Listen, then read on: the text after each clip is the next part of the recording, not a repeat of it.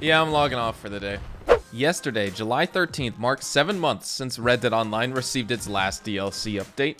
To put it all in perspective, we all thought the 5 month wait for the Frontier Pursuits update was bad. Well, let me tell you, this has been even worse. Today is Tuesday, July 14th, which means we have a new weekly Red Dead Online content update, and no surprise here, Rockstar is playing us for suckers. It's an all-out war between the players still left playing the game and the developers who have seemingly vanished, just like Gavin from the story mode. The clown movement is taking over, and some gaming news publications have already picked up on it, so grab your popcorn because that means Rockstar has to act soon. They always do when official news websites talk about them with this game, but they'll leave us players who have things to say in the dark for months on end. Whether it's the hackers, modders, and cheats, or other issues with online like animals and dynamic event spawns. We have all the information you need to know here, so let's jump in, shall we?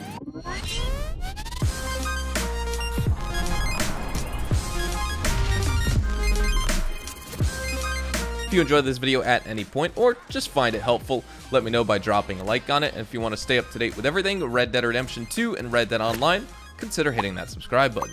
First up, headhunters and hired guns can get 50% cash boost and role XP for successfully completing any legendary bounty mission.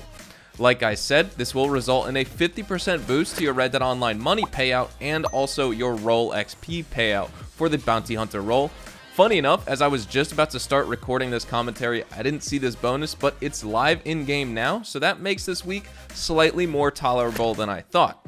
But that's the strongest point and the strongest piece of this week's update, though. Moving on, we have a 40% discount on select bandoliers. In the gunsmith, head on over or turn the page in your catalog to take advantage of the Marino bandolier for 40% off, the Coburn bandolier, Higgins bandolier, Espinal double bandolier, and finally the Salizo double bandolier. Those last few I mentioned are actually quite pricey as well, so for those wondering what my outfits and what my clothing items consist of, a big part of it, and one of the most notable pieces, are the bandoliers, and this is a good week to purchase them if you have not already. Next up though, take 40% off certain coats like the Taranka coat, Dunaway jacket, Finley jacket, Durham coat, Riggs fringe coat, leather duster, sheep's wool jacket, and the bison duster, and also the Hagen coat. Not all of these are featured prominently at the beginning of the coat section in the catalog, so you'll need to do some page flipping to find them all. Just keep that in mind. Female characters can also snag 40% off select skirts as well, like the Creswell skirt, Hadley skirt, Westcott skirt, Kamasa skirt, Prairie skirt, Wash skirt, Guildtown skirt, and also the Constance skirt. Both males and females can also grab 40% off select chaps as well in the catalog.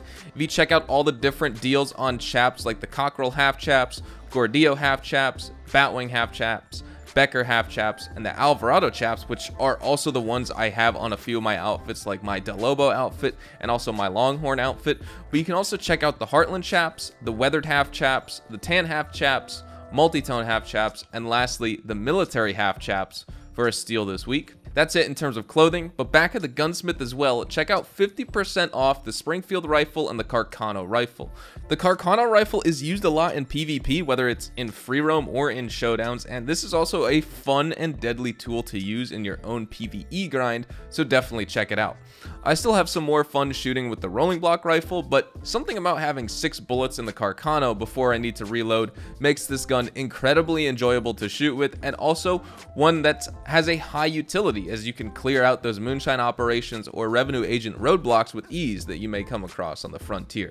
And it's also the perfect weapon to use during the boat moonshine story mission. I know a lot of players like that mission and there's really no better weapon to use than a Carcano rifle there, especially if you are playing on ruthless difficulty because of the extreme ranges you'll be trying to take enemies out at and they also have buffed health and do extra damage. Now, the Carcano rifle also will help you this week for the legendary bounties as well, so keep that in mind. But this week, at Madame Nazar, take 50% off the Aguila machete, and honestly, this is something that isn't worth your gold at all.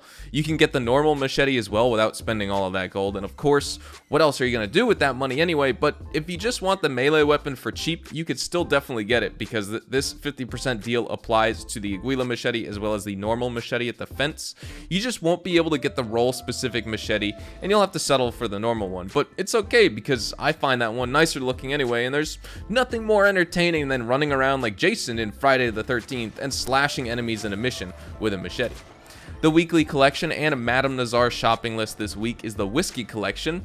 You'll need to collect the Tennessee whiskey, Irish whiskey, and lastly the Scotch whiskey to complete this weekly whiskey set. It's very fitting as I'm sure all the players can use a drink right now while we wait for something new to get added to the game.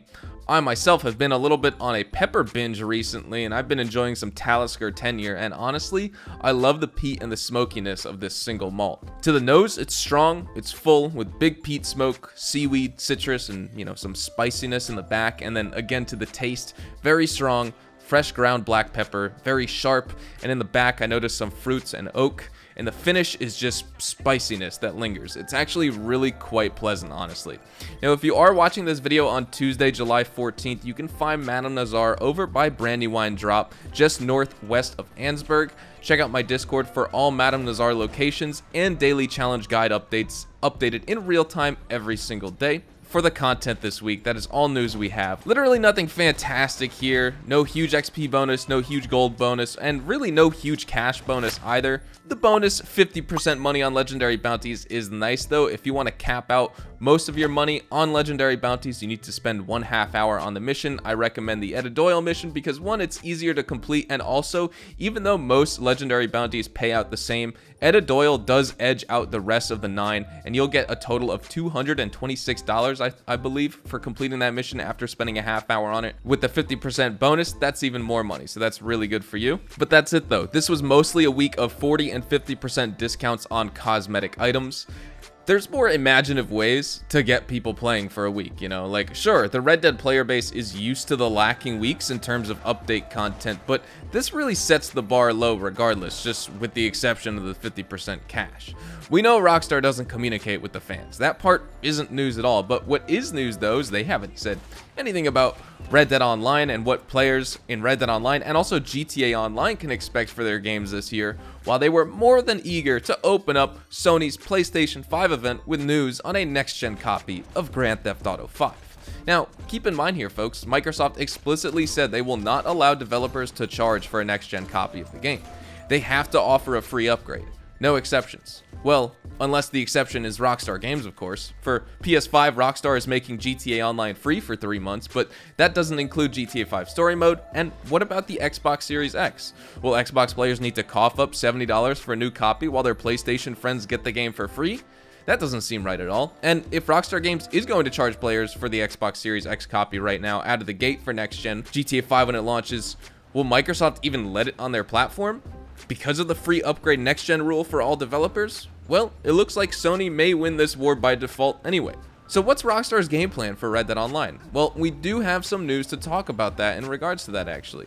Rockstar insider and enthusiast TezFunz2 has some intel on QA Beta, QA Beta 2, and even a new DLC depot that was added to the internal development branches. We're not out of the woods yet entirely when it comes to the content drought, but this is still good news if you're excited for whenever content does actually arrive. On Friday, Tez went on record to say that QA Beta 2 for Red Dead Online updated, and this is something you can check out for yourself on the Steam database. But you know what was added? The DLC depot. Tez expects this change to mean that a DLC is close. Close and soon are words we've said here on the channel for a while and before, obviously, and I don't think anyone expected delays like this. But like Tez said, I'm surprised no one talked about this, but QA Beta 2 has the DLC pack updated. Looks like we're approaching the DLC release. This should come with caution though, as just like the normal QA beta and internal development branch, QA beta 2 can get updated multiple times before a patch is released to players. QA beta gets updated multiple times before we see the small patches that we get on PC at the beginning of each month, and maybe that's the same case here, but the good news is something is coming sooner rather than later. I know it's easy to think Rockstar abandoned the game or at the very least are waiting to push DLCs for next gen, and I definitely agree, it feels like that, but that is still a year off at the very least, I'd imagine. You know, it's probably not launching right alongside the console release this year, which means two years after the initial release, and that would be a long time to wait before they really hunker down and get to business with this game. So I don't really see any more time past that as a possibility that they would release content on next gen anymore, especially since the DLC pack updated into QA Beta 2 this week. PCGames.com also published an article about the Red Dead Online clown movement, and they put it perfectly. It's a wholesome way to turn a potentially frustrating drought of content into a bit of fun. Does Rockstar care? No, that never changed. But do players care? Yes. What else can they do? They're letting off some steam while they wait and are having fun doing it. That won't stop some die-hard woke Rockstar fans from somehow getting upset at this, and also the players that created their own meme, however. The same woke Rockstar fans that were all for the green versus purple alien frenzy in GTA Online. Well now Red Dead Online has its own thing, and they can't help but hate on that. That's the state of our game, folks, and that's our show today, and those were all the new Red Dead Online content update changes for Tuesday, July 14th.